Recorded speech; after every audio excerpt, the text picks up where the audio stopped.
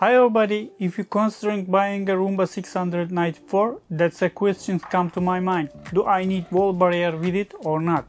I think wall barrier is very useful for those who have pets at home. I used Roomba i7 before, it was different and it allows to choose keep keypad zone on the map in the app. But for keep keypad zones with Roomba 694 you need wall barriers. Its range is 10 feet on the virtual wall mode and 2 feet range on the halo mode. Mine says 2 feet on it, but it says 4 feet on the user manual for the halo mode. I think there are two different versions of it, so be sure to buy it. You can make a barrier yourself, but the virtual wall is decorative and small. If you need more than 3 or more virtual barriers, I think directly buying a high-end iRobot with the mapping features will be wiser.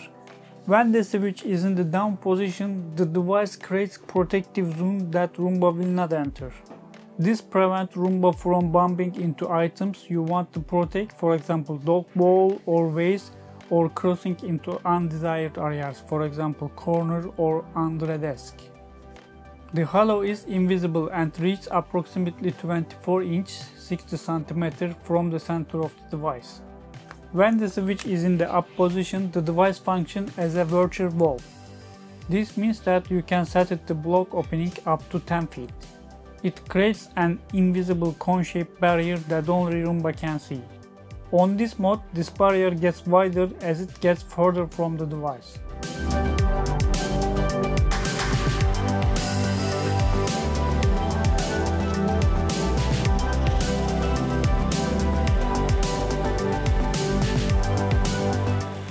Thank you for watching. See you in the next video.